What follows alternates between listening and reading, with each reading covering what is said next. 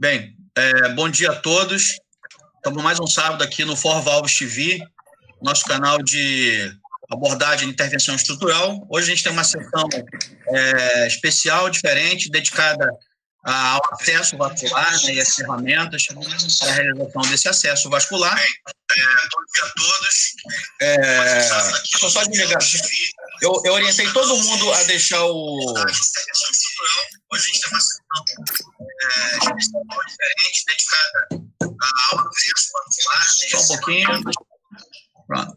Desculpa aí. Na verdade, a gente, isso só aconteceu porque a gente, a gente faz pelo Hangout, mas o, a, é, 20 segundos depois vai para o YouTube. Então, a gente acompanha só para acompanhar o chat no YouTube, mas tudo acontece aqui pelo Hangout. É bom que vocês sabem qual é, qual é a dinâmica, qual é a dinâmica é, do sistema aqui. Enfim, então, retomando, é, então hoje é uma sessão dedicada à vascular, que para nós intervencionistas é extremamente importante, porque, como eu costumo dizer, sempre que a gente implanta uma TAV, para todo mundo feliz, né, que a válvula foi bem implantada, eu falo assim, não, o procedimento não acabou ainda. O procedimento é, é, ainda, tem, ainda tem a perna para resolver, né? E hoje a gente vai poder discutir sobre isso aqui. Tem meu companheiro aqui, o Dr. Jorge Maiol, de, de, de Montevideo. É, muitas graças, Jorge, por estar aqui conosco, conosco nós outros. E vamos poder compartilhar com você, com toda é, Latinoamérica, é, essas, essas experiência de nossos companheiros acá em Brasil. Eh, ¿Puede dar un buen, buen día para nuestros, nuestros asistentes? Sí, buen día para todos. Gracias, Marcio, por la invitación. Eh, es un gusto para mí estar acá.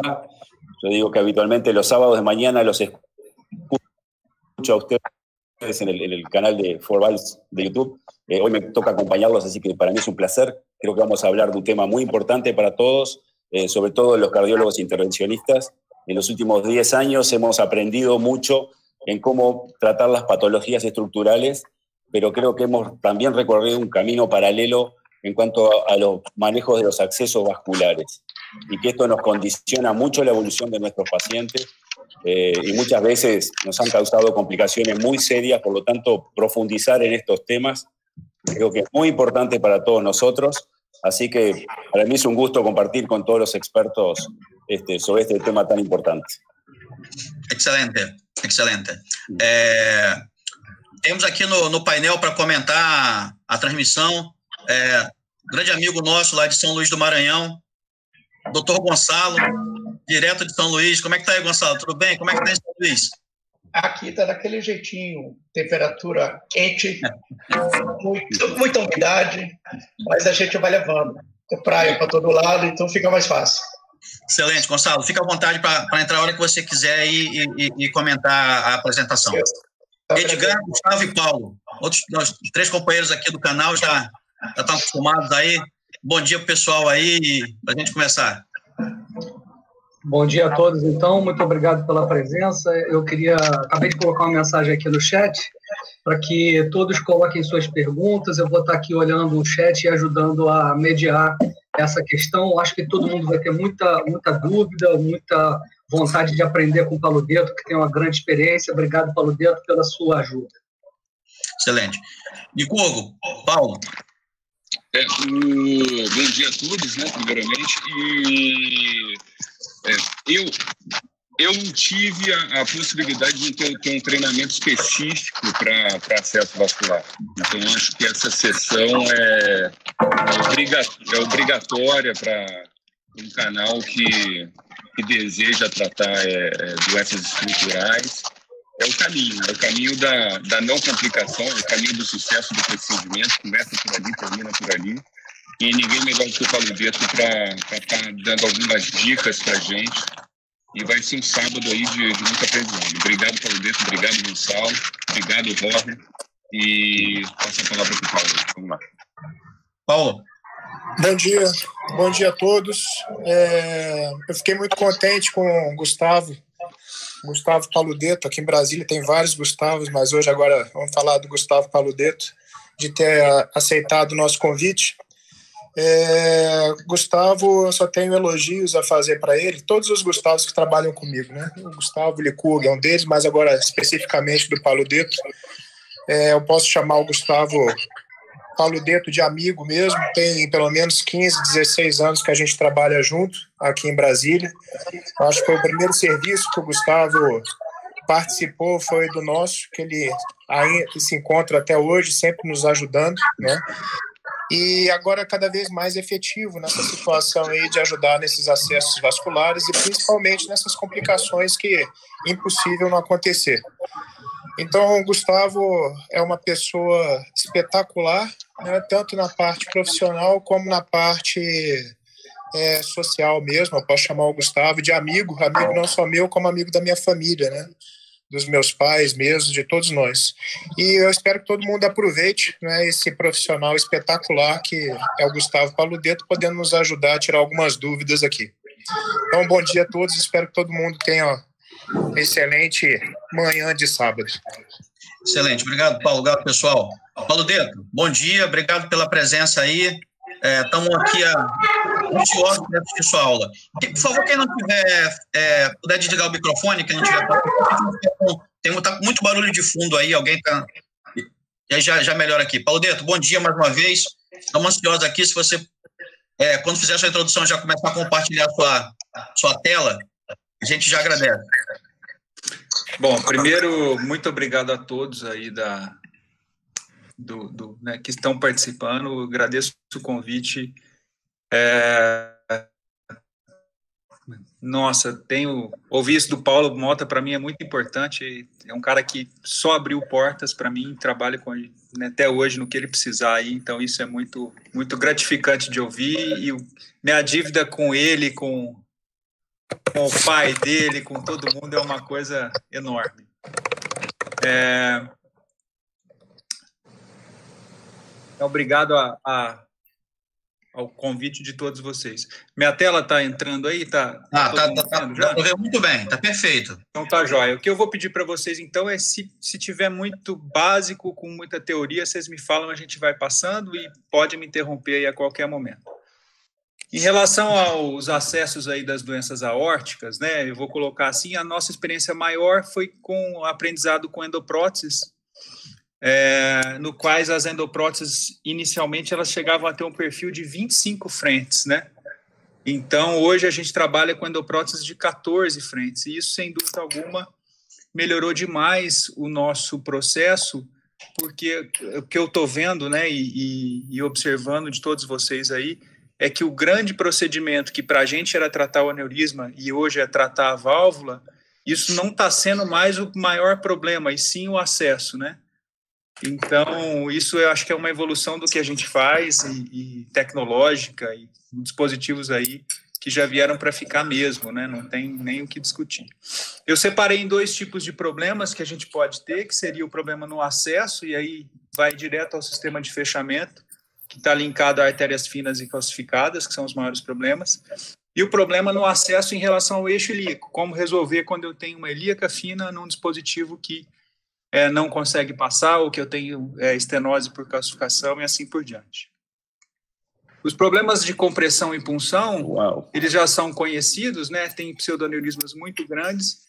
E o que a gente sabe de literatura é que esses problemas eles aumentam muito quando o introdutor é maior que nove frentes. Então, até o oito frentes, a compressão simples manual ela é extremamente eficaz. Passou do nove para cima, a compressão já tem um alto índice de complicação, onde o sangramento e a formação do pseudoneurisma ela é muito importante. É daí que vem os, os né, as necessidades de, de dispositivos de, de, fechamento ou de selamento dessa punção.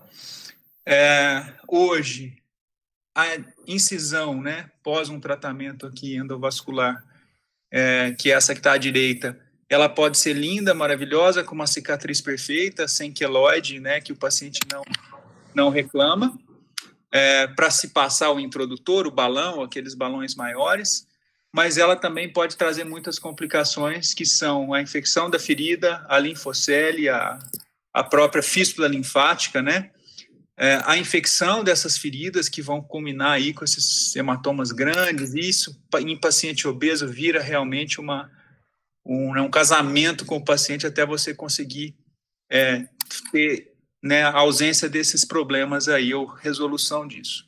Em relação ao tratamento percutâneo, totalmente percutâneo. Hoje o que a gente tem grosseiramente na mão aqui em Brasília seria o, o Proglide, né, que é o Perclose, e lança da mão do Angiocil aí para algumas situações específicas, né. Quando a gente fala do, do Perclose, é, o fechamento oficial dele é até 10 frentes, assim você consegue fechar pela indicação de uso dele.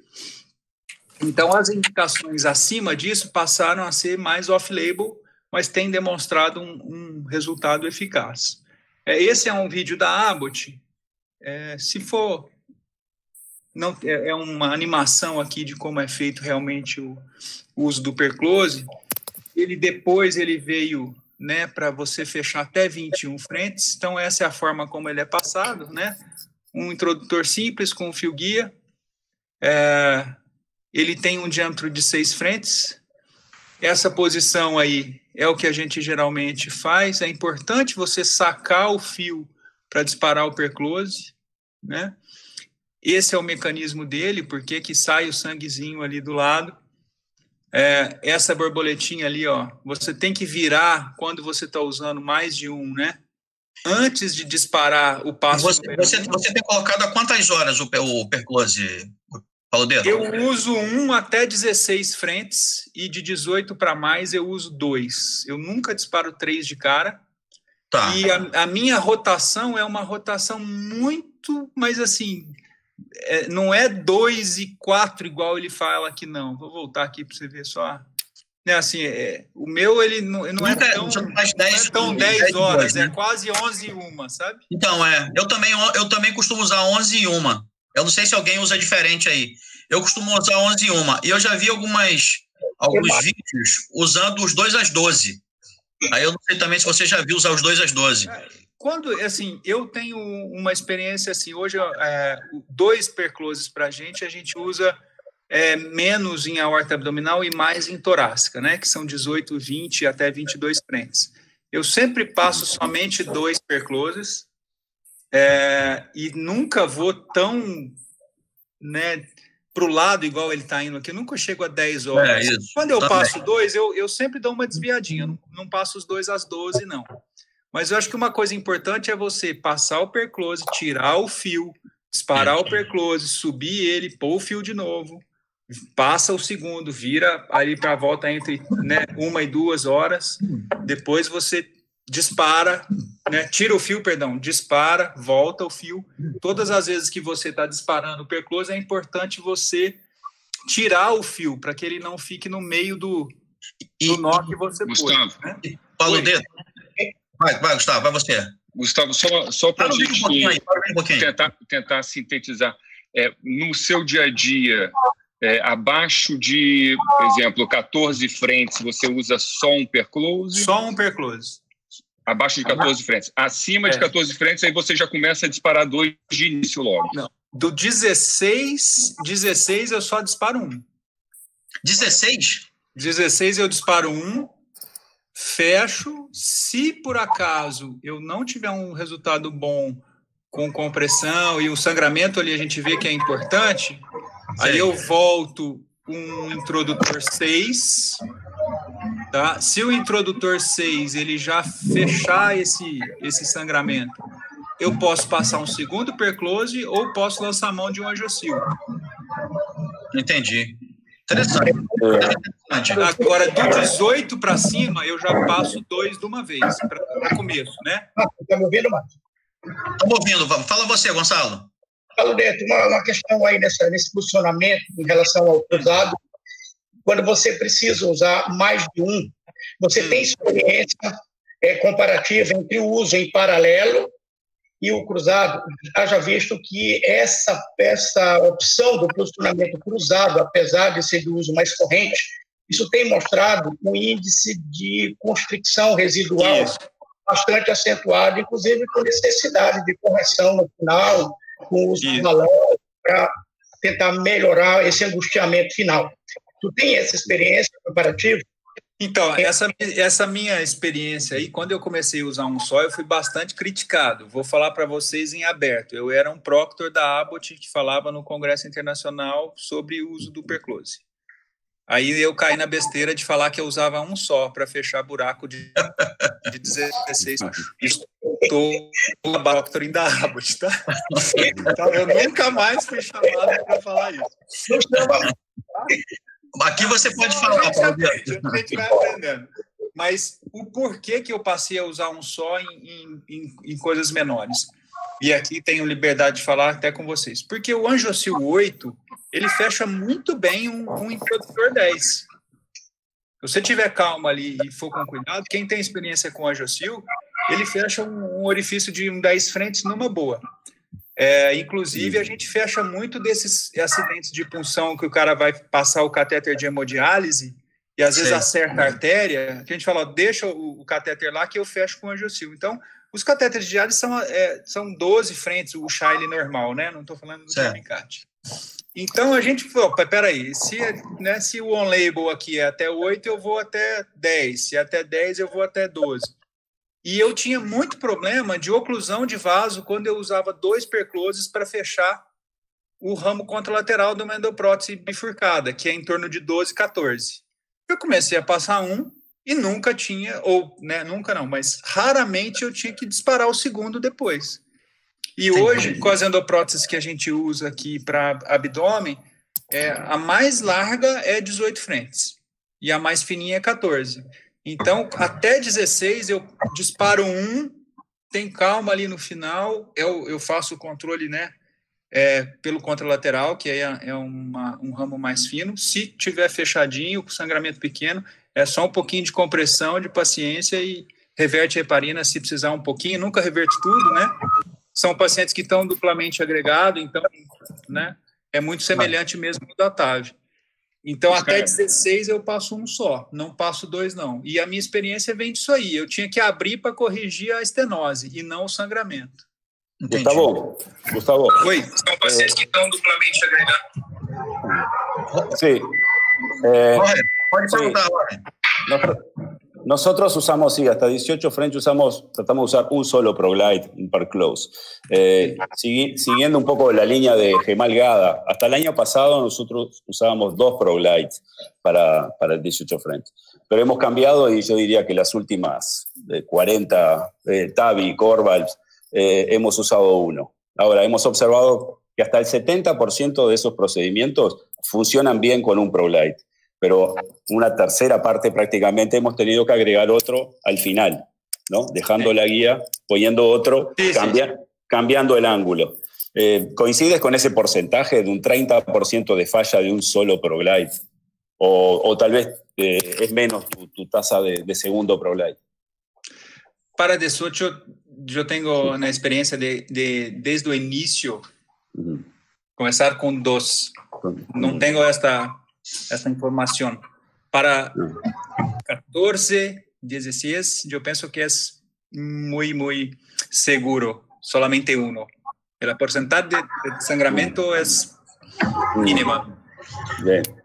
Alberto, aproveitando é, a sua grande experiência com, com esse dispositivo que a gente tem usado cada vez mais e muitas vezes o nosso aprendizado é mais na prática do que alguma coisa teórica.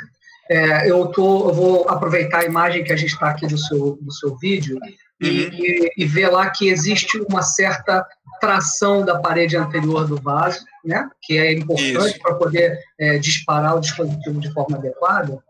E, e, o que eu queria saber é o seguinte, é, aproveitando essa questão que você falou, que eu acho que a gente pode evoluir um pouquinho mais, que é a questão da, da associação dos dois, dos dois dispositivos, né?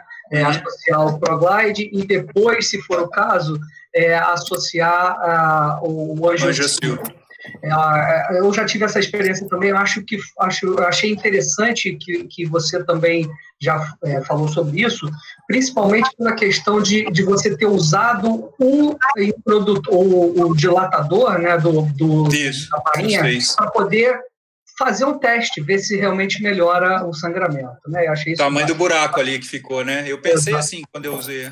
Entendi. Então achei muito bacana isso que você falou. Agora, a questão dessa questão da, da, da parede ali, que eu estava aproveitando o, o, filme, o videozinho, é para entender o seguinte: quando a gente coloca o. Eu entendo que é sempre melhor colocar o dispositivo antes porque é, depois que a gente que a gente já manipulou o vaso, né, você botou um só, então teoricamente a gente está trabalhando entre os pontos, né, entre as duas saídas do ponto. Quando a gente já trabalhou, já, já manipulou, às vezes a manipulação é difícil, o vaso é, não é tão, não tem uma boa qualidade, é, já tem doença aterosclerótica, é, às vezes, pelo que eu percebo de, da época que a gente dissecava ainda, né, pelo menos do braço, é, a gente sabe que a manipulação faz com que esse, esse orifício de entrada se amplie. É, a, o segundo dispositivo sendo colocado mais para frente, né, no, no, final do procedimento, ele não pode é, ter dificuldade de pegar o outro lado, né, a, outra borda do, do, do vaso? Tem, tem, né? Inclusive, assim, oficialmente, a agulhinha do perclose, que são duas agulhas, uma na frente e uma atrás, né, uma anterior e uma posterior, ela, é, ela, ela consegue pegar um, né, uma parede em volta de um buraco de um introdutor 8F. Né? Então, você tem que disparar o perclose em até oito frentes. Quando você dispara esse segundo de resgate, né, Uhum. É, eu tenho que contar que esse orifício que está ali, que já está parcialmente constricto pelo primeiro perclose, ele vai ter um, né, uma área compatível com o equivalente ao introdutor 8. Por isso que eu gosto sempre de ter é, a minha. Vou passar o meu passo a passo ali, mas eu faço assim: eu, eu passo o introdutor 6, eu alargo bem ali o tecido subcutâneo, eu disparo o perclose e ponho um 8. Então eu fico na minha mesa depois com seis e com oito. Né? Hum. É, dispara, aí no final do meu procedimento eu fecho o, o, esse perclose que eu estou lá, mantenho o hidrofílico. Se eu tenho um sangramento importante, eu faço um teste com o introdutor 6 ali, sabe? Se só a ponteirinha ali do, do dilatador do introdutor 6 já é suficiente para selar esse sangramento, ah, provavelmente o, o, orifício que eu tenho é um orifício bem pequeno. Ele vai pegar tanto com o angiocil quanto com o novo Proglide, né? Se o 6 não fecha, opa, eu tenho um 8 ali para colocar, porque até esse sangramento ali, ele às vezes pode ser importante para o paciente, né? Fica comprimindo, sangrando, então é um momento ali que se você tem um introdutor que você coloca, ele já para o sangramento. Opa, então vamos ver como é que nós vamos fechar esse esse é, orifício residual que ficou aí, né? Só, só para você dar andamento, então, aí, é, Paulo Deto, esse, quando você coloca esse primeiro, vai, eu vou colocar um só. Qual a inclinação que você coloca? 10, 11, 12, 13? Você Não, bota 12, meio-dia, retinho. Ah, tá. pegar okay. a parede, é. Ok. E uh, eu acho que esse passo agora é muito importante aí no vídeo que você está mostrando. Eu sempre digo que o segredo do Proglide é a mão esquerda, né? É esse é. momento com a mão esquerda que mantém ele tracionado para poder dar o, passar a agulha, Isso. né? Então é importante chamar a atenção acho, nesse ponto. Pode continuar aí, Paulo Dedo, por favor. Lembrar que a agulha ela vem de cima, né? Ela fica a artéria de fora para dentro e não de dentro para fora, como a gente geralmente tá, tá, imagina, né? Que ela venha. Exato. Ela tem que ter uma, um trigger ali que se junta, né? São os passos do que a gente chama do, do, do pré-close, né? Na verdade, a gente deixa isso aí fechado e agora volta é, o, o o introdutorzinho. Esse passo que passou aqui agora, eu vou depois eu vou só mostrar pro, uma coisa para vocês, ó, de, do nozinho vir para cima aqui, tá vendo? Eu gosto de deixar ele mais alto aqui. Isso aqui acho que tem uma implicação importante no que a gente vai falar sobre pacientes obesos. É, que na verdade existe um trabalho do, da Sociedade Vascular Americana que mostra que a, maior índice de falhas de de hiperclose é no paciente muito obeso, né, obeso mórbido com, com índice de, de massa maior que 50, né, é, e justamente porque eu vou ter muito tecido subcutâneo para o nó descer, né, não é nenhum problema, na verdade, arterial, e sim com a... Né. Aí é o, o, fechamento da segunda parte, né, é importante tirar o fio, igual a gente né, já, já colocou, e aí, esse, esse 10 e 12 aí, para mim, ele, ele é altamente estenótico. Eu ficaria entre 11 e 1. Acho que tem um, um fechamento importante aí. Uhum. Aí, eu tenho feito 11 e 1 também. Agora, Jorge, eu fiquei impressionado você falar que com 18 bota um só, hein? Muito bom. Que bom. Aí é importante só aqui, né, no final, qual que qual perclose que a gente fecha primeiro, né? Que parado antes, se um disparar, se você disparar, é, o nó pode cruzar e se um não descer, o outro também não vai descer, né? E aí o trigger, Perfeito. é, eu deixo ele lá um pouquinho, faço uma imagem com ele, vocês vão ver no, na minha geografia final, eu passo um Kelly aí nesse, nesse fiozinho, deixo ele bem tracionadinho e faço uma imagem final com ele lá. Se não Entendi. tem sangramento, aí eu tiro numa boa. Tá? Não, não, não corto ele assim, não. Que, sabe uma coisa que eu faço que todo mundo assim, é, acha diferente? Enfim, eu passei a fazer. É, eu pego os dois fios azuis, os maiores, né, que é onde está o nó, uhum. E na hora que eu saca o, o introdutor, lógico que a gente deixa um guia sempre lá, eu puxo os dois fios azuis simultâneos. A primeira vez que eu vi fazer isso foi o, o Aelcio Acelino, lá em Aracaju. Eu sempre gosto de dizer as coisas que eu faço e quem foi, quem foi que eu vi a primeira vez fazer. Então ele, ele falou assim: pô, a gente tem feito assim. E eu acho interessante porque na hora que você puxa os dois fios azuis do nó, você já sabe se o ProGlide funcionou ou não. Né? Porque imediatamente, com os dois tracionados, lógico, você vai, você vai segurar o sangramento, não vai ter mais, mais sangramento. Como é que você, como vascular, como é, que você, como é que você enxerga isso? Porque a gente faz as coisas da prática diária. O Medgar chamou atenção, né? É, eu, eu sempre descia o nó, sabe? Sempre ah. descia o nó e deixava. Hoje, o que eu tenho feito é um macetinho de descer o nó por dentro de um pedacinho de introdutor. É, acho que o, o Licurgo e o Paulo, já, se não me engano, já viram um desse comigo, só na hora de descer o, o, o tubinho lá, e isso faz com que o, o nó, pelo menos assim na teoria, chegue na parede do vaso sem pegar nenhuma, nenhuma gordurinha ali. E uma coisa que atrapalha muito, assim, uma das grandes falhas do perclose é quando você tem que fazer uma punção mais alta e sem querer é, atravessa o ligamento inguinal. Né, aquela parte mais durinha ali. Aí, tá. cara, a chance desse nó descer lá na artéria é muito pequena. É, Vou mostrar isso aí, como é que eu tenho feito e tem funcionado assim, bem legal. Então, isso aqui é o que a gente esperaria, né, de um pós-operatório feliz aí, só aquele bloodstop ali do band-aid, o paciente vai para casa, acha que, né, Gustavo, duas, uma... duas, perguntas do chat aqui, rapidinho. É. Uma, é, tem algum, alguma diferença é, de se colocar, na técnica, de se colocar um angiocil após ter colocado um, um Proglide? É, aí o que eu sugiro é o seguinte, como quando você passa o angiocil é, você perde o guia, eu sempre gosto de ter um guia lá dentro. Isso. Então, o que, que eu faço? Eu passo um fiozinho 014 paralelo, uhum. e querendo ou não, é uma segurança de que se o meu, né, meu, meu angiocil não pegar, eu ainda tenho um guia lá dentro. A única Perfeito. coisa que eu faço, eu deixo ele de vigia ali, aí eu tá. passo, né, o, o só para não perder a, o acesso até dentro do vaso, né? Perfeito. É, e a, essas, Uhum. Pode falar. E a, outra, e a, outra pergunta, Gustavo, é o seguinte: tem um, um o Pablo Tomé está é, tá perguntando aqui, porque ele já ouviu falar em deixar o nó do Proglide fora da pele e só descer depois do final do procedimento. Eu nunca ouvi falar nisso. É, você já ouviu falar nessa técnica? Cara, eu, eu às vezes ele fica para fora, às vezes ele fica para dentro. O paciente muito magro, ele às vezes fica mais para fora, paciente mais obeso. Mas, mas, fica ficar para fora aumenta o sucesso? Não tem nenhuma relação para mim. Tá. Porque a hora que ele descer naquele é, no, no, no, túnel subcutâneo é que é o problema, né? Entendi. Esse é o grande problema ali. Em relação aos benefícios, isso é mais é, questão de é, custo, convênio e tal. É, eu sei que tem vários tipos de, de, de composições de uma equipe cirúrgica dessa, né?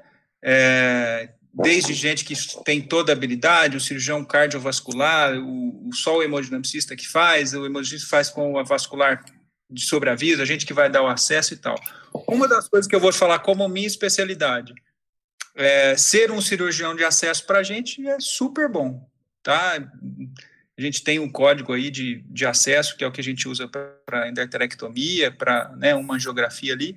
Isso para a gente é, não é nenhum problema, não, nem antes e nem depois. Então, espera que corra tudo bem com o procedimento, mas se deu qualquer problema, pode ligar que a gente vai lá sem nenhum problema.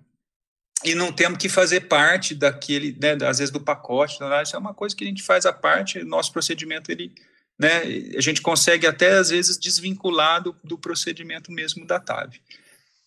É, a demonstração de, né, de, de, não inferioridade na vascular, ela começou com esse trabalho inicial aqui, que foi né, publicado mesmo em 2014, mas desde 2013 ele já tem um benefício de se fazer o, o ProGlide, não tinha diferença em relação à cirurgia aberta, só que tinha menos, é, é, menos dor, principalmente, que é o principal é, benefício do ProGlide, e as complicações de incisão. É, esse aqui já é um trabalho bem maior que entrou... A gente, a gente não está vendo a, seu, a, tela, a, tela, trocar, a gente está tendo a tela de benefício pelo, pelo dedo. Benefício? É, ah, sim, agora trocou, agora a gente viu, demonstração de eficácia. Agora é, essa... slide, é. Ah, é porque eu troquei no computador, não troquei na setinha aqui, perdão. É, a demonstração, então, de eficácia, ela vem num trabalho né, é, que não era inferior à cirurgia aberta, ao, ao, ao acesso aberto, né? Isso depois melhor, é, os pacientes tinham menos dor, um tempo de recuperação de cicatrização melhor, né, mais rápido, óbvio, né? E sem outras diferenças em relação a sangramento. É, depois veio um trabalho bem maior é, publicado já em 2015, onde a comparação já era com mais de mil pacientes com, com PIVAR, né, para aneurisma de aorta, então você tinha redução do tempo cirúrgico, redução do tempo de internação e menos complicações da ferida operatória quando comparado à cirurgia aberta. Isso até veio para tentar ganhar outras, né, outras é, formas aí de, de utilização e de melhora. E uma das coisas que a gente falava, não, no paciente obeso, o, perclose o perclose é melhor, porque de secar uma perna de um paciente com índice de massa corporal maior que 40, que 50, que nem cabe na mesa direito, né? Aqueles pacientes que têm dificuldade dele ficar na mesa de hemodinâmica, a gente viu que o, existiam mais complicações do perclose naquele índice de massa altíssimo, né? Que seria o obeso mórbido com IMC maior que 50. Então, teve muita conversão nesses pacientes por sangramento. E sangramentos muitas vezes que demoraram a ser é, vistos, né, falando especificamente de aneurisma, porque até o, o hematoma ser identificado ali, ou o sangramento ser identificado, é uma coisa mais trabalhosa também, até pelo, pelo calibre ali da coxa, né? E a, então, e a então gente tem um problema, sabe, Paulo Dedo? Porque como a gente funciona ao nível da cabeça do fêmur, cara, não, a gente funciona na barriga, né? Então, às vezes eu falo assim, trocou a válvula pela barriga, né? É. Porque a função é muito alta. E, e assim, esse é um problema para a gente, paciente obeso, né? É, e assim, a, a, nossa anticoagulação com esses pacientes, não sei como é que vocês. É plena, né, plena, às vezes 10 mil unidades. Mas para fazer a plena num cara de mais de 150 Imagina. quilos é outro problema. Você usou uma pancada de heparina, faz o TCA, ainda não deu, né? É, pô, Exato. É um, é um trabalho maior que a gente tem que ter. É, mas existe, então, nessa, nessa população específica, com índice de massa acima de 50, aí o, o PIVAR ele pode ser criticado como é, maior complicação. Nos que tem índice de massa maior que 40, ainda assim você tem o benefício da técnica percutânea. Então, é o obeso mórbido, mórbido mesmo, que acaba sendo Entendi. o maior problema nosso aqui. Dessa expectativa, recuperação rápida, né, transformar o aneurisma simples, regular, em um, em, onde o problema era o acesso, passou a não ser o acesso, partiu-se para um regime ambulatorial. É, tem um trabalho da Prevent Senior aqui no Brasil que tenta fazer isso, é, né, é com Álvaro Razuki, um colega que eu conheço, conheço o trabalho que ele faz. tem é. muita coisa né, envolvida, mas assim, o americano, vamos falar lá nos Estados Unidos, o cara que vai lá na Cleveland Clinic, que é frio pra caramba, ele pode fazer o processo no, né, de manhã, sair no fim da tarde, mas eles geralmente ficam naqueles hotéis na frente do, do, do hospital, igual lá na Mayo Clinic, né?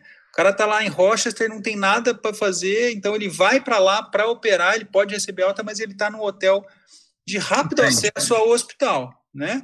Diferente de uma população aqui no Brasil, grandes centros, que o cara mora na periferia, para ele voltar ao hospital se ele tiver um sangramento, não vai dar tempo. Mas o perclose, a perclose não, né? A, a teca do PIVER está permitindo mesmo é, esse, esse realização desse, desse procedimento é, primeiro, em não ir para UTI, em segundo, ir embora em 24 horas, coisas que a gente, né, incomparável com o aneurisma e com a TAV, então você falar que um cara que operou uma válvula do coração vai embora em 48 horas, negócio fácil. Então, é uma tecnologia que veio, não tem como né, a gente é, né, relação, contra isso. Oi? Com relação à, à mobilização desse paciente enfim, que teve uma hemostasia boa na, na mesa, é, o que aconteceu, assim, aquela coisa... A gente acha que não tem obesos mórbidos com tanta frequência como nos Estados Unidos, uhum. né? O nosso obeso mórbido ainda é menor do que o obeso mórbido é, americano. Mas, enfim, numa média, aquele paciente que tem, sim, o seu sobrepeso, até uma obesidade maior, mas você é, fez a, a, a hemostasia, ele está, é, enfim, ficou satisfeito com a hemostasia. Esse paciente a gente tende, principalmente aquele que não ficou com marca-passo já de imediato, né, nas primeiras 24 horas, principalmente no caso da, da, da né, que a gente já tira, às vezes, o marca-passo no, no, procedimento, no, no, término do procedimento, esses pacientes a gente é, gostaria de mobilizar mais precocemente. Como é, que, como é que você vê essa questão da, da retirada do paciente da sala, o paciente ficar de pé, uma caminhadinha dentro do quarto? Então, ó, eu, eu ainda tenho o, o hábito de mandar para UTI é, o paciente que é operado principalmente no pós-operatório meu ali, porque eu não tenho, vou te falar a verdade, assim, eu, eu, eu não confio muito na minha enfermagem de quarto para identificar um sangramento. É, em relação a, a, a especificamente isso aí, antes de seis horas, como eu geralmente não reverto heparina, eu acho bastante complicado você pedir para o paciente é, deambular antes de seis horas de repouso. É, mas o meu paciente, assim, que eu operei de manhã, à noite ele está sentado, comendo sentado, ele pode ir ao banheiro, né? Eu prefiro já tirar a sonda no mesmo dia. E o que eu operei de noite, no dia seguinte, é, operei à tarde, né? No fim da tarde, vamos supor que ele vai ficar deitado na cama e tal. No dia seguinte de manhã, é para tirar ele da cama, andar com ele, porque ele provavelmente vai embora no dia seguinte à tarde. As minhas altas têm sido feitas no dia seguinte à tarde. Então, habitualmente, eu opero, mando para a UTI, tiro da UTI de manhã, ele fica à tarde no quarto, ele anda, caminha, comeu, vai para casa no fim da tarde. Boa. Mas antes de seis horas, com o efeito de heparina circulante, mais aspirina, mais clopidogrel, que é o que geralmente está usando, né? É, eu acho complicado. Acho que ele está bastante anticoagulado para andar ainda. Vamos lá, vamos dar andamento na apresentação? Esse aqui é um trabalho, então, é, do, do SVS que mostra, ele tentou é, classificar o que, que é calcificação baixa, moderada e uma calcificação severa, para tentar identificar a falha do perclose em relação a isso. De todos os problemas em que ele envolveu aqui, que poderiam ser falhas do dispositivo, desde o diâmetro do vaso, o introdutor passando no vaso, né, com maior que 17 frentes, é, índice de conversão, experiência do operador, calcificação, idade e tal, ele chegou à seguinte conclusão: a experiência do operador e, o, e a presença da calcificação são os dois maiores fatores para o insucesso do, do, do, selamento da punção. O que é importante, aqui que eu vou né, é, chegar ao que eu acho também, concordo, é que a borda anterior, aonde a gente fura, não pode ter cálcio.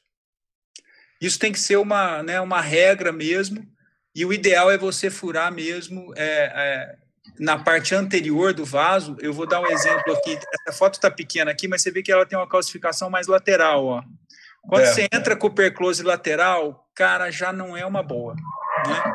E essa artéria aqui da, do, do C, ó, da calcificação severa, é uma artéria que tem tudo para dar trabalho a hora do percurso fechar, da agulha ser disparada corretamente, dela pegar uma parede adequada para no, no, final você conseguir fazer a sutura. Então eu acho que assim, quanto mais a gente faz, mais sucesso a gente vai ter, graças a Deus, é a curva de experiência normal. E a, o, o, nosso calcanhar de Aquiles hoje, eu acho que é calcificação. Tá? É, em relação aos custos, tem um trabalho é, canadense que mostra que se você faz o perclose, o paciente vai embora mais rápido, você tem uma economia importante ao longo do ano. Então, é, para a gente, talvez a nossa realidade pelo custo do perclose, ela é diferente do americano e do canadense europeu, mas se o perclose, né, para a gente aqui, ele, sem dúvida alguma, ele, o paciente vai embora mais rápido, ele toma menos sangue, ele infecta menos, ele volta mais rápido a trabalhar. Acho que a vantagem é enorme em relação a você fazer uma dissecção cirúrgica. Esse aqui é um trabalho que até embasou o que eu já achava e o que eu faço, né? É você ter uma segurança para fechar um orifício de até 16 frentes usando um perclose só. Então, depois desse artigo aqui, ele é de 16, ó, o que a gente já fazia por achando, né, de, de achômetro, passou a ter aí também embasamento é, de publicação. Isso é muito interessante para quem usa só, se por acaso tiver alguma complicação, tiver que se né, defender, fala, não, a gente usou um só, por isso, tem tudo certinho aqui, a gente está respaldado em relação a isso, tá? Gustavo. Oi.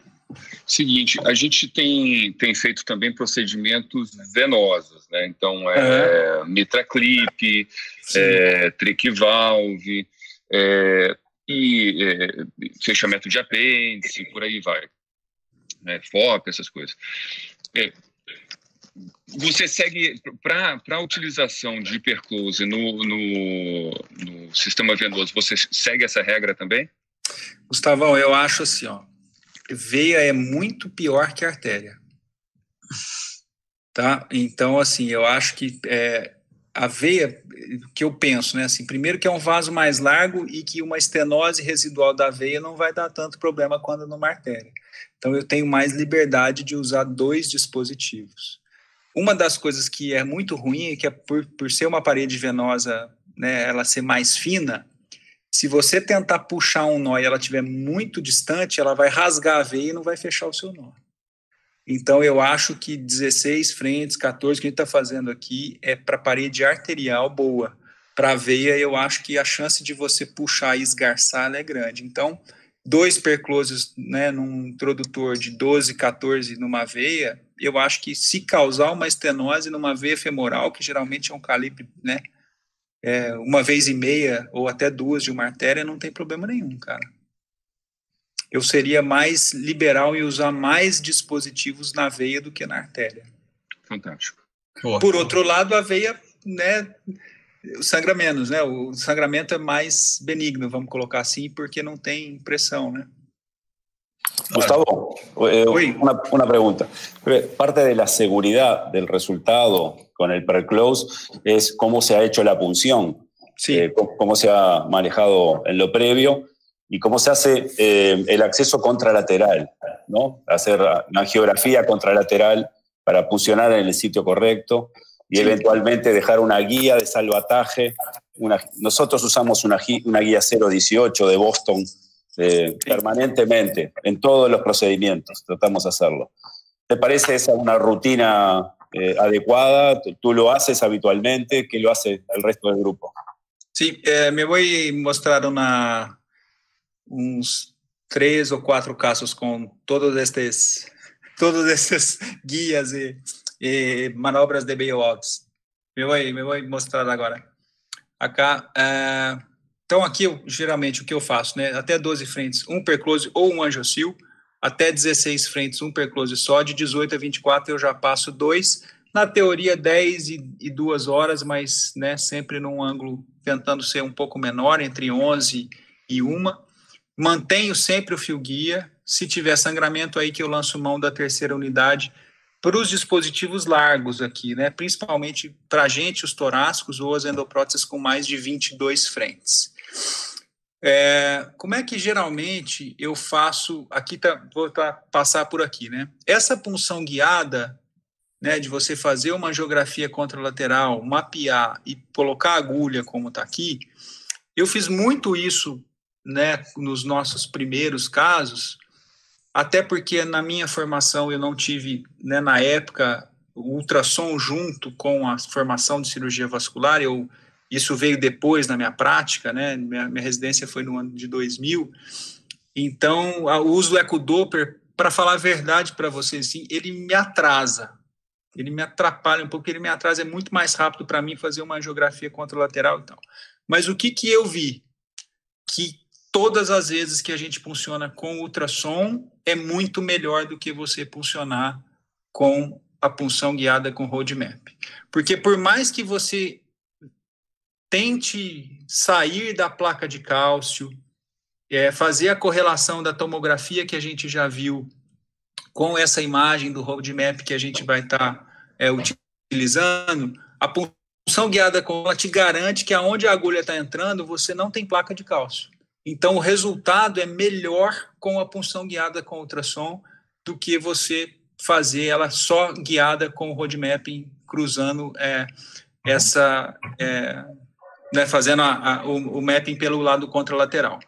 É, como é que eu faço hoje? Né? Desculpa faço... te interromper, só para pegar o gancho aqui, é, você acha que a associação, porque eu faço muita avaliação da tomografia junto com o procedimento. Então, assim, eu olho muito essa questão que você falou da, da, da parede anterior é, do vaso.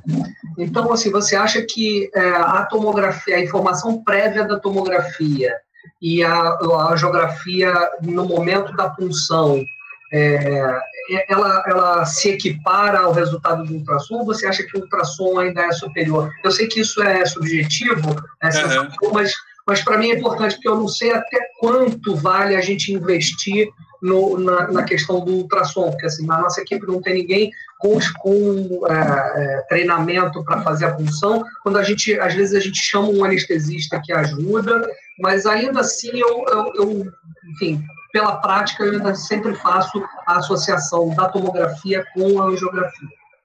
É, eu, eu te falei da forma mais sincera possível. Eu sou um cara que eu tenho essa formação cirúrgica e angiográfica, o ultrassom para mim ele me atrapalha hoje. Eu demoro mais fazendo com ultrassom do que é, se eu fizer só com o mapeamento e o que eu até peguei já da imagem da tomo.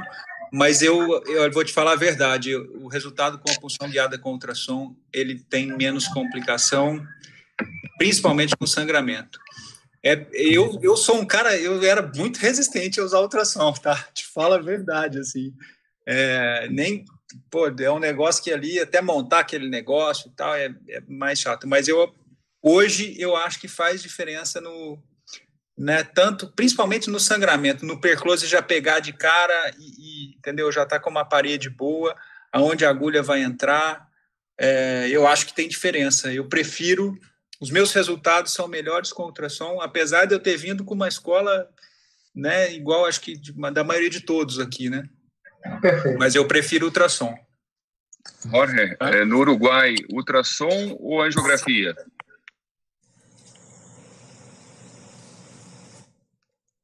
Sí. Yo diría que eh, la experiencia del cruce a ultrasonido no es fácil. Eh, creo que hay un tema generacional que, es importante conocer, porque quienes hemos, nos hemos formado en la punción con palpación, eh, estamos muy acostumbrados, entonces hay que tener mentalidad, cambiar la mentalidad y eh, saber que hay que incorporar el ultrasonido porque los resultados van a ser mejores, la evolución va a ser mejor. Pero eso lleva más tiempo, más demora. Gustavo Paludeto recién lo dijo, él demora más en hacer ultrasonido que palpación. Entonces creo que eso es lo difícil y yo lo he visto en los equipos aquí en Uruguay, que cuesta hacer el cambio al uso de ultrasonido porque se demora más. Pero es fundamental hacerlo. Así que creo que acá los equipos son heterogéneos en eso, pero es, es el camino necesario. Hay que hacerlo con ultrasonido porque los resultados son mejores. Gustavo, Gustavo Oi. Paulo Deto, é o Paulo, tudo bem? Tudo.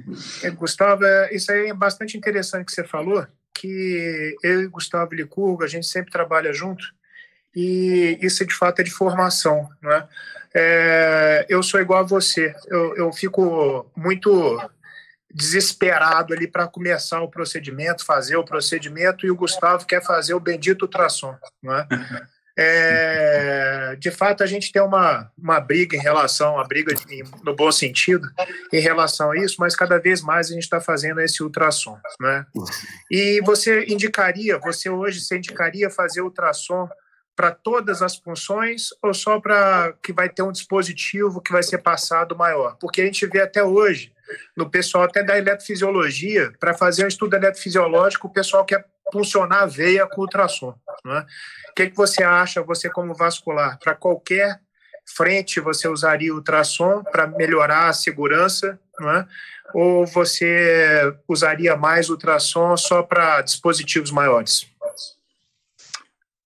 Paulo, assim, é, eu acho que a experiência de todos aí com punção ela é incomparável, né? O hemodinamicista, de uma forma geral, é o cara que mais funciona, mais do que qualquer outro profissional. Então, eu acho que as punções é, para introdutores simples, que não vão ser utilizados dispositivos, principalmente as punções arteriais, eu acho que a segurança do que a gente faz é muito grande, né? É, quando você tem o, a, a, dupla punção no mesmo lado, arterial e venoso, Paulo, eu acho que vale a pena você fazer guiada, porque às vezes na tentativa de pegar uma veia femoral que pode estar um pouquinho mais embaixo da artéria, ou o paciente obeso, né? É, você pode ter um hematoma ali tentando pegar a veia e acabar beliscando a artéria.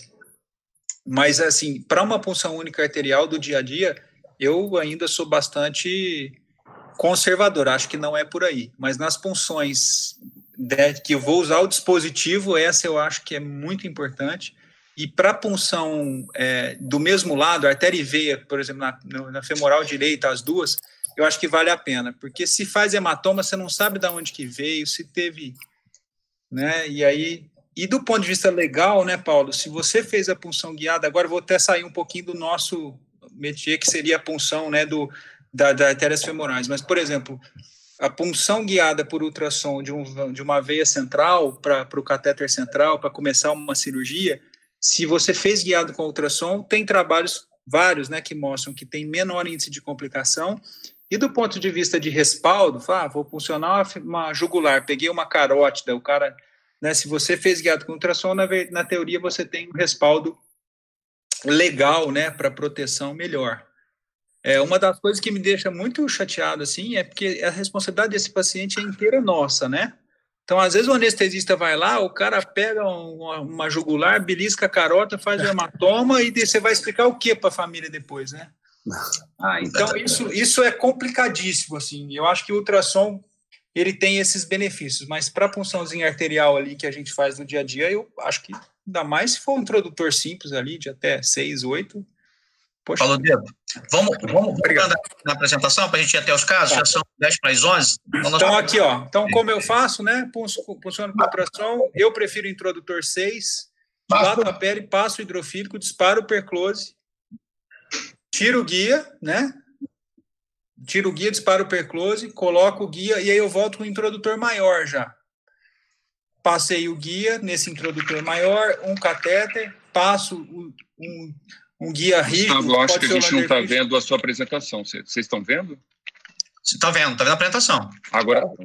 Como eu faço, tá aí? Tá, tá indo. Foto aí? Agora sim, agora sim. sim, sim. Então aí assim, né, primeira coisa, esse é um introdutor 8, é o máximo que o perclose permite alarga bem a punção. Aqui é um vídeo da, do, de como a gente faz ele, é bem tranquilo, em cima do hidrofílico sempre, ó, né? Vai ver que eu não vou, não vou mexer a, angulação dele, ó. Começou a sair, eu sempre empurro um pouquinho, começou a esguichar, tira o guia, né? Aí a mão esquerda que você falou, ó, tá comprimindo ali, não mexe ele. Tracionou, disparou na agulhinha ali. E aí veio o fiozinho lá. Né? Depois disso, a gente passa o guia de volta.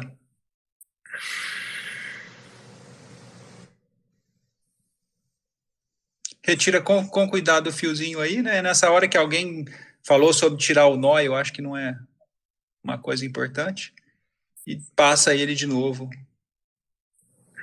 nessa regiãozinha ali. Aí é só a retirada dos fiozinhos para que fique fora do nó.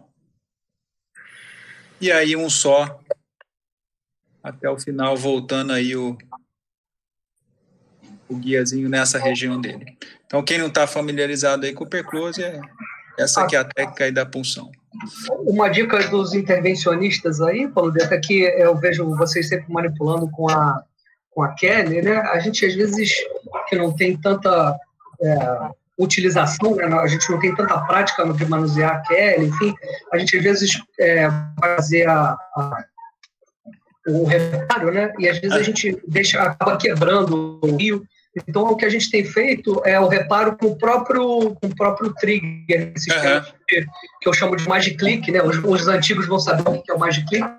Então, é exatamente isso. Gente faz o reparo com, essa, com o trigger que é, não machuca tanto uhum. o fio, né? Aqui, então, só continuando, você veja que é um introdutor 12 de cá, um introdutor 16 na perna direita do paciente e só tem um perclose de cada lado, ó. A gente não, não disparou dois nem no 16, né? Aqui é a forma como a gente faz, então, o maior lado, que era o 16, eu mantive o guia, o perclose, ele tá fechadinho aqui, ó, dessa forma aqui, ó, vocês estão vendo? Então eu puxo o fiozinho aqui para cima, tem esse esse vãozinho aqui do, do, do perclose, ó, né, do trigger. Certo. Eu, eu faço ele bem justinho, um com o outro, um de um lado, outro do outro do trigger, ele fica como se fosse, né, fazendo uma tensão, e eu faço uma geografia pelo lado contralateral. Lembrando que a direita era um 18, né, e do outro lado era um 12. Antes de cortar, né? Antes de cortar. Tá? Aqui não tem nenhum sangramento de cá, né? Aí eu tiro o guia, Posso até fazer outra angiografia ou não, mas se não está sangrando, eu acho que já está bem, bem legal. E uma das coisas que eu faço é isso aí, ó, eu deixo isso aí.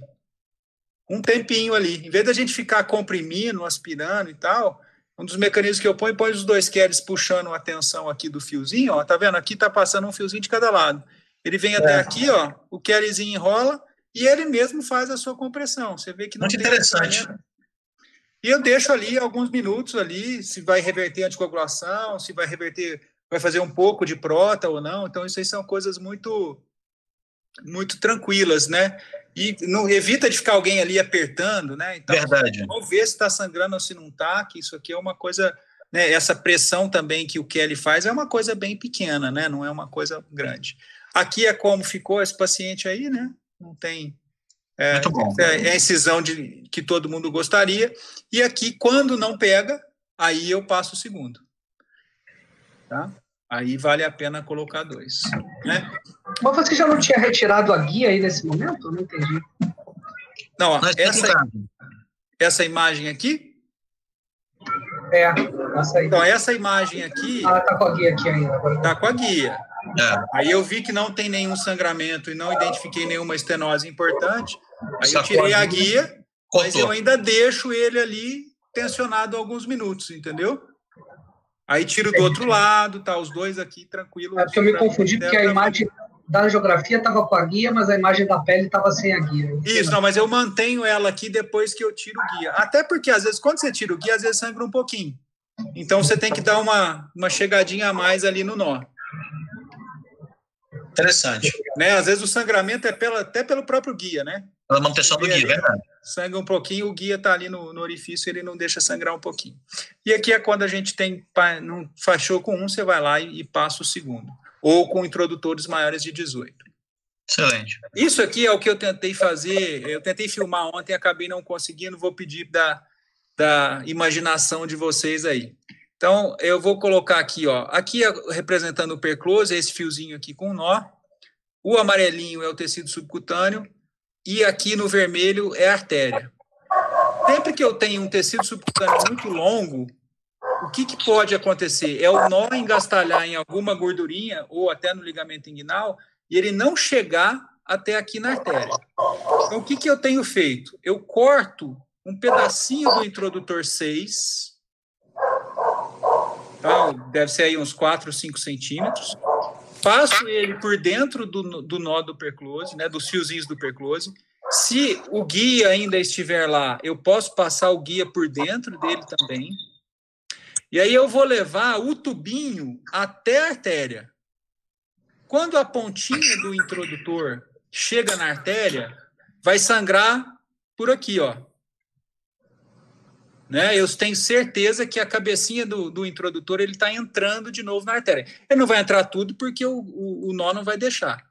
E aí que eu vou fazer a tração desse nó do perclose e o nó vai descer dentro do meu tubinho, chegando até aqui, ó. Então eu tenho certeza que eu peguei o mínimo possível de tecido subcutâneo até chegar aqui na borda da artéria. Depois eu só removo o tubinho e termino de chegar, e aí eu consigo aqui fechar é, o, o orifício da artéria. Isso aqui tem feito a gente ter um sucesso maior com pacientes obesos.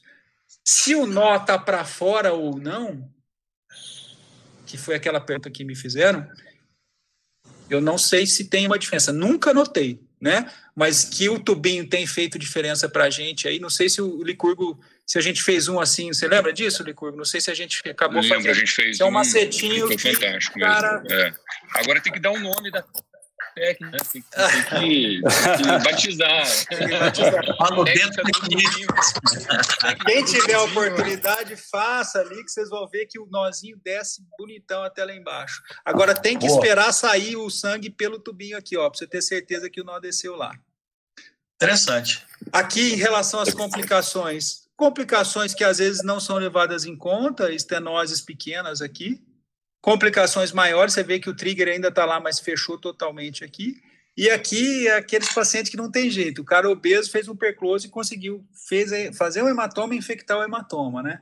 Então acontece com todo mundo, não adianta a gente tentar fugir.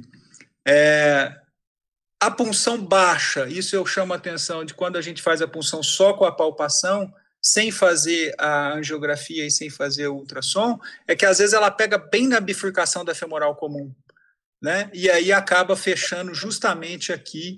É, você vê que a femoral comum era uma artéria doente, tem calcificação e tal, puncionou mais baixo. Então, lembrar que as punções aqui na prega, geralmente eu já estou ou na femoral superficial ou é, né, bem próximo à bifurcação da comum. Então, evitar fazer uma punção tão baixa assim, geralmente eu estou pegando artérias mais finas. Aqui, os pseudoaneurismas, eles acontecem mesmo com a gente usando o dispositivo. Vê que aqui, isso aqui não é um endoprótese, isso aqui é calcificação de vaso, tá, do paciente. E mesmo assim, você faz atome de controle, tá lá o pseudoaneurisma, na única, único pedacinho de artéria, né, que talvez não tivesse muita calcificação que a gente escolheu, mesmo assim o dispositivo ainda pode ter alguma falha. É, isso está muito relacionado a a punções laterais, tá? Você veja que a punção lateral ela é muito ruim. Então, às vezes você tenta fugir da placa de cálcio vindo para dentro, ou medial ou lateral, o perclose ele não tem uma boa, é, um bom fechamento quando você não está bem anterior mesmo. Então, acho que vale a pena. Por isso que eu acho que o ultrassom tem um papel bem importante aí. Aqui são técnicas que a gente usa, não sei se isso faz parte da vida de vocês. Já falando em relação aos acessos, essa paciente é uma paciente que tratou de aneurisma e tinha um acesso femoral, apesar de pouco calcificado, é, muito fino. Existe esse introdutor no mercado, ele Sim. chama Solopet. Da Terumo, é um, né? Da Terumo. Isso. Ele é um introdutor, ele tem dois modelos, tá? Ele tem o 12 que vira 20 e ele tem o 13 que vira 24, se não me engano. Dentro dele existe um balão. Então você Isso. passa esse introdutor, aqui é um vídeo desse que a gente está usando aqui, você passa o introdutor, é, aquele fininho aqui, ó, né? Essa parte dele ainda não foi expandida pelo balão, e aí com o indeflator mesmo, com o manômetro, a gente insufla e ele adquire o diâmetro de 18 ou 23, dependendo do modelo que você está usando. Ele pode ser usado tanto para dilatar, né, quanto para você usar como acesso. Então, acho que vale a pena quem tem esse dispositivo aí, que tem vasos muito finos e tal, é, que se quiser, tiver é, fazer o acesso rápido, passa ele e depois aí o, a retirada eu acho que tem que ser cautelosa porque pode ter tido alguma alguma né, laceração até pela própria angioplastia que esse introdutor causa é, no vaso. É, aqui são casos em que a gente tem é, artérias ilíacas é, ruins dos dois lados, eu tenho um aneurisma e a gente pensa em fazer o tratamento das duas coisas, tanto do aneurisma quanto de revascularizar é, a, perna, a perna direita que está aqui com uma ilíaca externa fechada. A gente faz a recanalização completa aqui, ó, tá? Você veja que a ilíaca comum ela é aberta, a interna é aberta e a externa era fechada. Funcionou, dilatou, a gente faz o que a gente chama de endoconduto, aqui é um Viaban, tá? E passa como, por dentro. Como é você escolhe o Viaban é, numa complicação de rotura, Paulo Dedo? É, qual é o, o calibre? É o calibre do vaso? É um pouco menor? É um pouco maior? pode é ser um pouquinho maior o Viaban. Aí que eu, eu, vou falar sobre os, os Ah, vai, então beleza. Depois, mas assim, tá. a vantagem do Viaban é que você pode dar um oversize. Ele não pode ser muito grande, senão ele faz enfolding, mas assim, você tem um vaso de 10, você pôs um de 13 e ele vai fechar numa boa. E eles são longos, né? Essa aqui é a é. vantagem dele. Aqui, então, a gente colocou o endoconduto primeiro, depois subiu a endótese dentro dele, e aqui está a imagem né, do ramo da endoprótese dentro do Viaban, e aqui a imagem de angiografia final, né? Você vê que era uma artéria é, femoral que desemboca numa profunda, não tem superficial, então ficou conseguimos tratar, né, esse eixo ilíaco aí até a femoral e também tratar o aneurisma lá em cima. Paulo Dentro, Outras você... imagens aqui, coisas bem maiores, como o endoconduto desse, né, desse nível aqui, o eixo ilíaco inteiro fechado. É, a preferência do endoconduto pelo Viaban, que fica dessa forma aqui, né, ó, é porque eu tenho é, diâmetros é, grandes, de até 13, e comprimentos grandes de até 15. Então, do ponto de vista né, da femoral para cima, eu posso usar qualquer stent graft. A diferença é que, às vezes, os stents montados em balão, eles têm um, um comprimento de até 59 milímetros. Então, para você fazer um eixo ilíaco, você vai gastar 3 ou 4, o que o custo fica caríssimo, né? Para a gente aqui em Brasília, pelo menos, fica praticamente impraticável. E o balão expansivo, ele fratura mais em dobra? Em dobra, eu acho que nem tem que ser usado, cara, porque okay, você vai arrumar um problema muito grande. As manobras de, né, ou de prevenção de complicações ou de complicações, essa aqui é uma imagem daquilo é, que a gente estava conversando, né? Então, é um paciente que tem o acesso venoso, o acesso arterial contralateral, tem o guia, o V18 lá na femoral, é, descendo para a femoral superficial, e o trabalho lá com esse guia aqui, que é o que sobe lá para trás. O que, que eu acho interessante dessa manobra aqui? Né? É que se você tiver um sangramento, você pode colocar um stent graft nessa região de femoral comum. Particularmente, eu acho que isso é uma manobra que seria uma, uma manobra de ponte. Ó. Sangrou, a gente pôs o stent, e aí né, comunica com a gente da vascular, a gente vai ver a necessidade de ir reconstruir essa artéria e muitas vezes retirar esse stent, principalmente se for um stent montado em balão. É, mas isso não precisa ser feito imediatamente. O paciente pode sair da sala, ele pode ir para UTI, você pode melhorar ele, né? Saiu desse aspecto, eu, eu não tenho que fazer isso imediato, porque ele não está sangrando. Então, como manobra de resgate para parar um sangramento quando o dispositivo de fechamento não funciona, esse guia do V18 aqui que é usado, eu acho fantástico. Isso, exatamente. Né? Pô, isso aí é uma segurança enorme. E aí vem um, só um detalhe do que eu vou falar que está linkado aos stents. A gente colocar um Viaban, que seria o único stent aprovado para cruzar articulação nessa região, isso. É, não tem problema. Eu acho que, tá, do ponto de vista de patência, ele vai ficar legal. Só que você tem que também saber que essa paciente depois provavelmente nunca mais vai poder ser funcionada de femoral comum é, direita e que ela pode a qualquer momento ter um acotovelamento. Você vai ter que manter uma antiagregação maior, né, durante longo tempo, ou às vezes até uma anticoagulação para que isso perdure e assim por diante. Então, é, sempre que eu jogo um stent aqui, a minha preferência para cruzar articulação seria o Viaban. Qual é o problema do Viaban? O Viaban, para uma artéria femoral que tem, vamos supor, 8 milímetros, eu posso até usar o 8, o ideal seria usar um 9. O Viaban, de 5 e 6 milímetros de diâmetro, ele passa no introdutor 7. O Viaban, de 7 e 8 milímetros, ele passa no introdutor 8.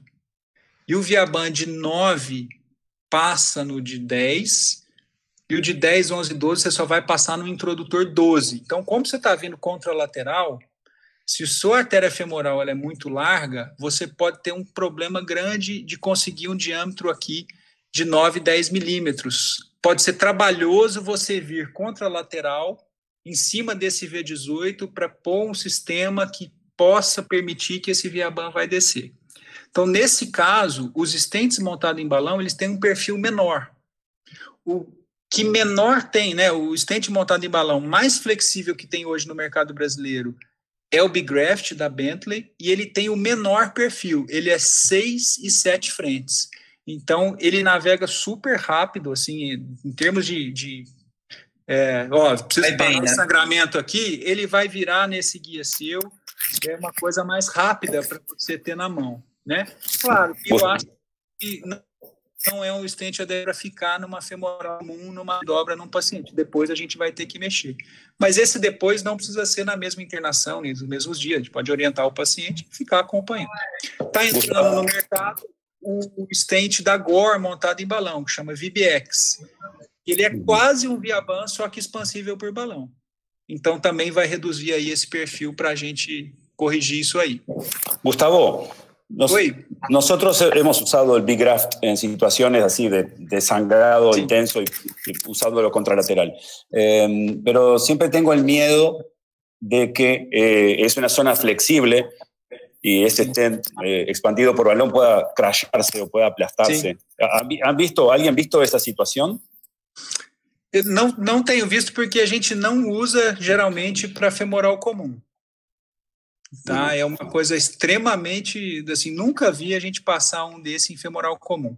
Quando a gente tem uma complicação dessa, e aí eu acho que vale a pena, né, uma outra coisa que eu gostaria de deixar vocês tranquilos. É, esse paciente está anticoagulado. Vamos supor que esteja fazendo só o hemodinamicista, não tem ninguém da vascular na, na sala, ou não cirurgião cardíaco e tal. Uma das coisas que pode ser feito, ao invés de colocar o stent de cara, é simplesmente descer um balão e insuflar e chamar o cirurgião. Porque hum. eu acho assim, uma técnica. Para a gente corrigir isso do ponto de vista cirúrgico é muito simples, é, é um, uma sutura arterial rápida. E para o paciente, em termos de isquemia, é, né, o tempo que a gente vai gastar para chegar e abrir, vamos colocar aí meia hora, 40 minutos e tal, é uma coisa muito tranquila, né? A perna não, não vai ter isquemia de perna importante. Então, é, às vezes as pessoas me perguntam muito qual stent colocar. Eu falo, cara, põe um balão e insufla. Faz um controle, se não está sangrando, dá tempo da gente chegar, a gente vai abrir e vai costurar. Eu acho que essa é uma solução muito tranquila, muito barata, né? Porque talvez o, o Viaban, não sei quanto custa né, nos países da América Latina e às vezes em outros estados, mas esses stents grafts todos, eles são bastante caros, né? Até para a gente às vezes ter lá na mão um monte de vários diâmetros e tal. Diferente de um balão periférico, eu acho que né, é uma coisa bem mais acessível, mais tranquila da gente ter. Eu acho que um balãozinho 8 ou 9 aí por 40 é uma, um material de resgate fantástico que deve ter aí na, na, na, nossa malinha aí de, de ferramentas, né? Acho que é fácil, insufla, ó, sangrou, já fiz o controle, não está sangrando mais, dá tempo da gente chegar e, corrigir isso aí com uma sutura rápida. Gustavo. Oi. Duas perguntas do chat aqui. É, uma, Viaban pode ser utilizado é, em sangramento venoso? Pode, só que é, o oversize da veia, a gente tem que lembrar que é, a chance dele migrar é maior. Viaban é um stent que não tem força radial, tá? Então, você tem que dar um oversize maior para ver, e lembrando que o maior Viaban que existe, ele é o 13, tá? Que passa dentro do introdutor 12. Então, é uma coisa, você tem que tá, usar e ter, e ter essa, essa noção de que o teu oversize tem que ser importante ali, senão ele vai Perfeito. parar lá no átrio, né? Nós vamos Perfeito. explicar ele depois, né? Essa pergunta foi do Guilherme. Obrigado, Guilherme, pela pergunta. Poder e a outra pode. pergunta pode, né? E a outra pergunta é do Léo, é, é, o seguinte, qual a taxa de trombose de Viaban? Nossa, essa pergunta ela é bastante difícil, até porque a própria Gore, como fabricante do Viaban, não tem um protocolo específico para uso de antiagregação ou anticoagulação para quem usa esse Viaban.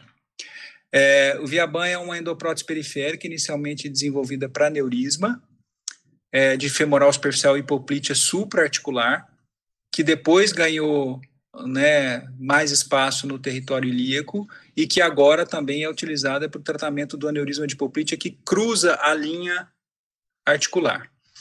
Eu é, tenho experiências grandes com esse dispositivo Acho que sempre que você cruza a linha articular, o resultado ele, de trombose ele é um pouco pior, né?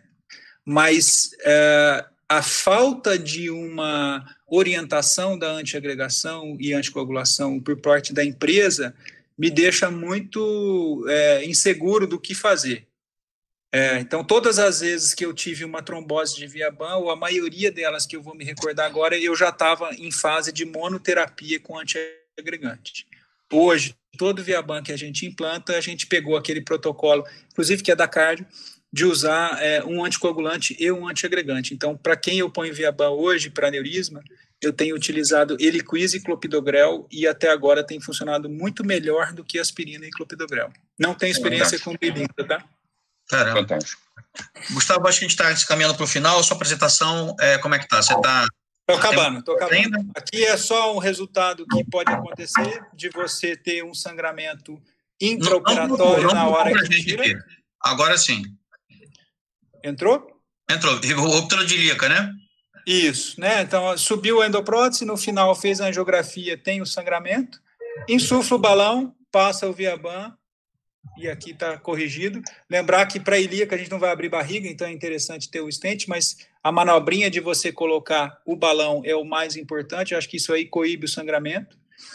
É, aqui são os stents que tem disponível em Brasília, os do lado esquerdo da tela, Viaban, Fluence e Covera, são autoexpansíveis, e os do lado direito são balão expansíveis, né? Tem, aqui está em ordem também. de flexibilidade, tá? Tem o Ciox também, né?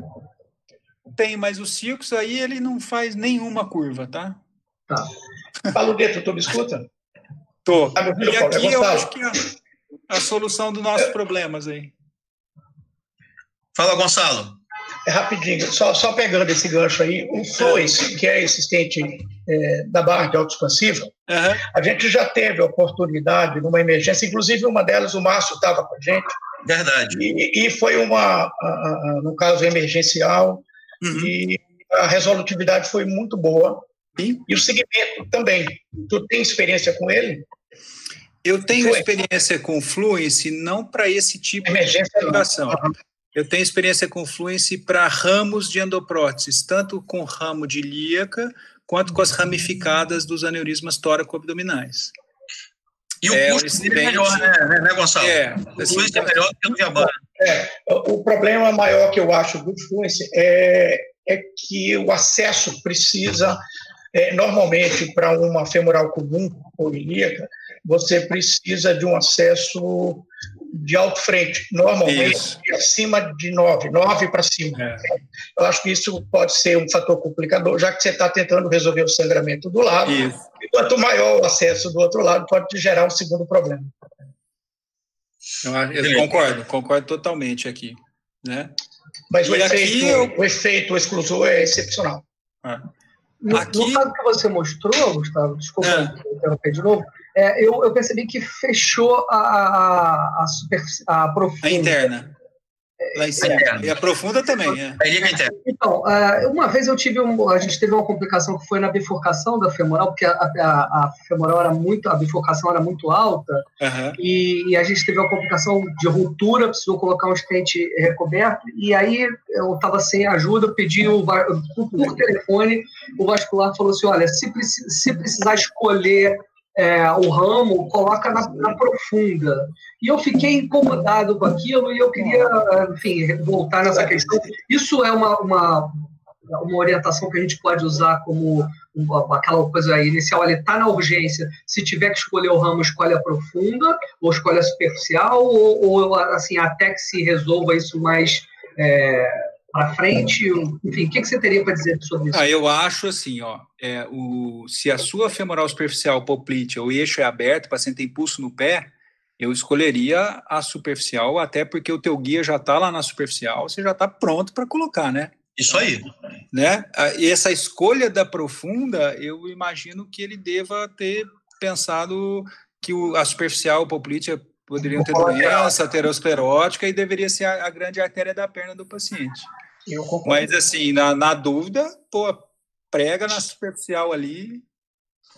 Sem dó, depois é que a gente vai, vai ver aí. Não tem que... Beleza. Vamos lá, vamos lá, Gustavo, para a gente finalizar. E aqui, só para finalizar, eu acho que é a solução dos nossos problemas aí, né? É, no, no, na Europa já tem todos esses dispositivos, tem o CIMARC, é, o, o ProGlide largo, né, que é o ProStar, ele vai até é, 10 frentes, enquanto o Perclose, na verdade, fecha 8.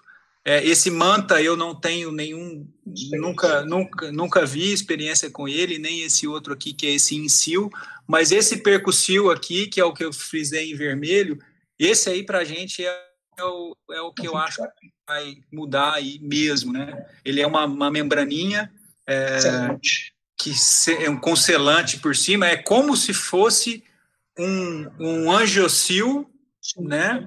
Largo, que desce aquele filtrozinho assim, né, de, de vicril ali, então eu acho que absorvível, esse negócio aqui eu acho que vai ser, assim que ele tiver disponível no nosso mercado, vai ser fantástico, ele fecha até 24 frentes, é. então muito legal, né? Eu, eu vi, o, eu vi o Manta uma vez, no, acho no London Valve, se eu não me engano, e assim, realmente, o resultado imediato foi fantástico, me pareceu muito fácil a utilização, é, acontece que eu já, isso eu vi no, no congresso, é uma demonstração, mas depois, conversando com alguns amigos europeus, eles me falaram que uh, não é tão fácil a, a, a, colocação, não. Eu acho que ele já tem, inclusive, é, distribuidor aqui no Brasil, provavelmente está sem Anvisa. Eu acho que daqui a pouco a gente vai ter esse manta para usar aqui no Brasil. É, sim, não, não, esse é falar a verdade, esse eu não, não vi, o percussil eu, eu gostei, cara, assim, foi um negócio que me, me convenceu para valer aí. Eu, eu sou um fã do Angiocil, sabe, o negócio que eu, pô, resolveu muito problema da minha vida já. Então, a gente usa muito e tal. E acho que vamos esperar chegar esse aí, que os problemas aí estão resolvidos. Ou é, muito, muito mais solucionados. Tá bom? Queria agradecer. Acho que o que a gente faz é, não é nem o futuro, é o presente, né? Ia pôr uma foto do Mick Jagger aqui. fazer propaganda. É homenagem.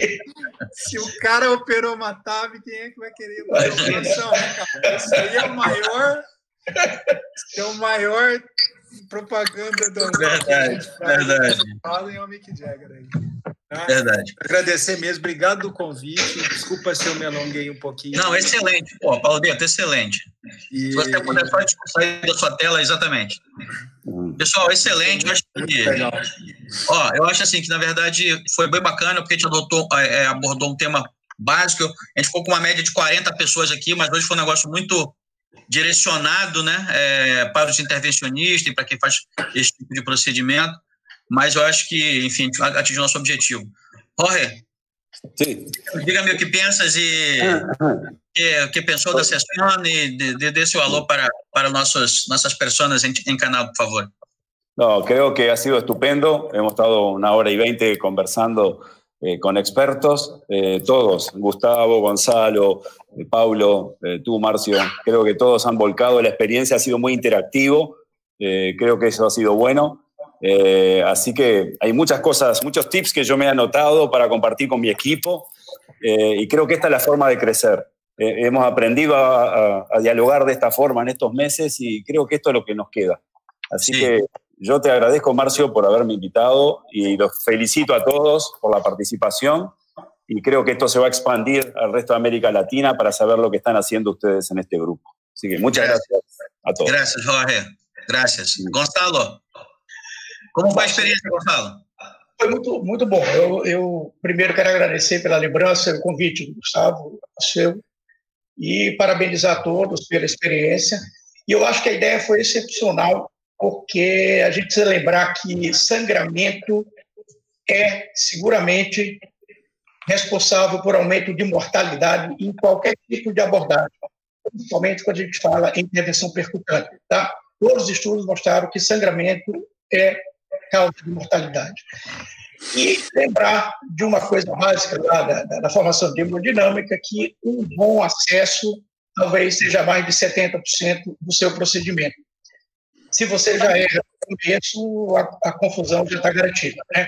E eu acho que, parabenizar o Paulo Pedro por compartilhar com a gente essa experiência. Eu acho que tanto o Paulo Mota como o Licurgo têm uma felicidade muito grande de poder conviver com o vascular, um endovascular com a experiência que você tem. Eu acho que para nós foi muito proveitoso e a participação do Jorge. Foi um prazer estar com você, com Edgar. E, enfim, só pessoas de alto gabarito, com uma experiência muito grande, pessoal. Parabéns a todos. Obrigado, Gonçalo. É, Paulo, meu companheiro de old school aí, que resistente a, a ultrassom como eu.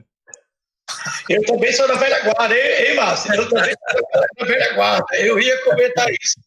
Mas é que o Jorge falou, isso é um problema de, é, de geração, né, cara? É, então, eu ia falar muito eu tenho, eu tenho observado isso na geração de 2000 para cá. Nós somos obrigados a disponibilizar um aparelho de ultrassom dentro da hemodinâmica por causa dessa geração nova, principalmente os, endo, os endovasculares, o pessoal da, agora, mais recente, que é, né? É, não, e os oncoradiologistas também, que é uma geração nova que está chegando aí, é. eles só fazem função por Guiada. ultrassom, só por é. ultrassom. Eu acho que isso não, não tem jeito não, né, Paulo? Mas é uma questão, é uma questão da formação deles. Eu perguntei para o cara, ele disse, eu não sei fazer se não for guiado por ultrassom. Excelente, Entendeu? excelente. É, gente, eu só tenho a agradecer doutor Jorge Maior ter participado aqui conosco, o Gonçalo ter participado conosco, né? É, Gustavo Paludeto, a gente só esqueceu de combinar isso. Acabou que ficou 50% para mim e 50% para o Gustavo Nicurgo. É, que o Gustavo quer, quer, fazer CAT e fazer funcionando com ultrassom. Eu falei, não, Gustavo, vamos embora, vamos tocar isso.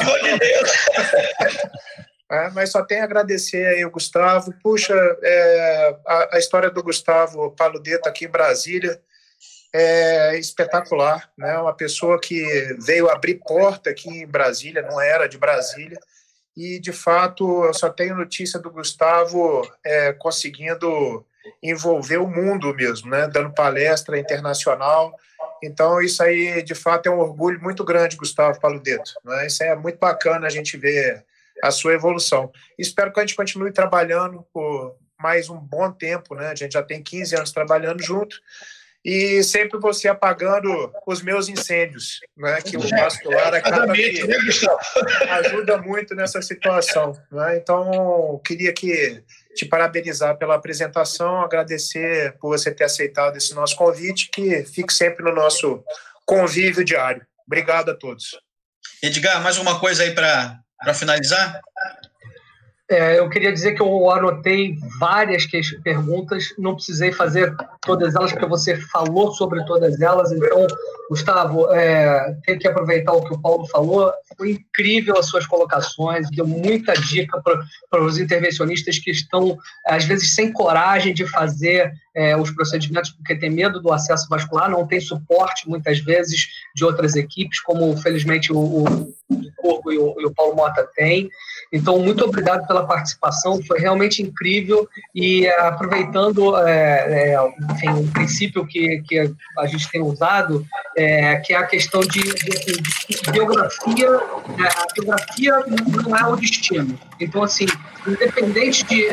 Assim, felizmente nos conhecemos hoje, você colocou, só pela sua aula, a gente tem, com certeza, a, a a segurança de conseguir começar a fazer esses procedimentos e foi realmente muito bacana. Eu fiquei muito impressionado, estou muito agradecido é, pela, assim, pela sua participação, pela dica aí do Paulo e do Licurgo.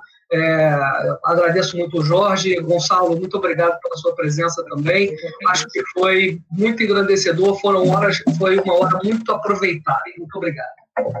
Aí, ó, falando em ultrassom, é que apareceu aí, Maximiliano. É, eu, eu, eu acho que o Marcos está indo para a praia, pelo jeito. Max, ah, Max, abre o microfone aí, vai. Ele está indo para a praia. já é ah, Max fez a máscara. Para o carro. Eu estava eu tava quieto aqui, mas eu estava no supermercado. Estava ligado. Mas eu estava eu tava ligado. Ligado. É, parabéns a todos. O, realmente, a prevenção é a ordem hoje em dia. E vamos ficando velhos e macaco velho não aprende truque novo, né? Mas não tem jeito. Vamos ter que. É, eu tô aqui no Eco. As filosofias do Marcos. É, é, tem que, é, desde é o início, eu, eu guiava a Eco já nos anos 2000, quando começou a, a, a, a fazer isso, eu realmente engordo. E principalmente tenho muito problema e, e acabo fazendo muito pós-exame e reparar problema de punção, principalmente com o pessoal da nefro quando fazem, perde o reparo anatômico, se pega, ah, só prega, não sei o que, vai lá e funciona, mas tem que lembrar que o reparo anatômico é a crista ilíaca, é o osso. E no gordo se perde isso. Então, não é tem verdade. jeito, tem que aprender, funcionar e dar segurança, como ele falou. É a segurança legal. Você tem problema com todos os cuidados tendo sido é, tomados, você não entra na categoria, na categoria de negligência. Verdade. Mas se você não toma todos os cuidados, se você tem problemas sem funcionar guiado, você entra na categoria de negligência. Você pode ter funcionar sem eco, mas não tem problema, não tem problema. Mas se deu problema, você foi negligente. Verdade. Não tem, é, é, tem que fazer, não tem jeito. Vamos ter que treinar. E estou aqui no eco para isso. Beleza, Max. Obrigado, pessoal. Só para lembrar, na semana, na, na, última transmissão nossa, a aula do Max é, acabou não acontecendo toda. Ele fez o grande favor, regravou a aula novamente. Quem quiser, quem quiser rever a parte de eco é, na, na, comunicação interventricular no CIV, já está disponível no canal. Contra, daqui a pouco com tradução para, para outras línguas, mas em princípio em português.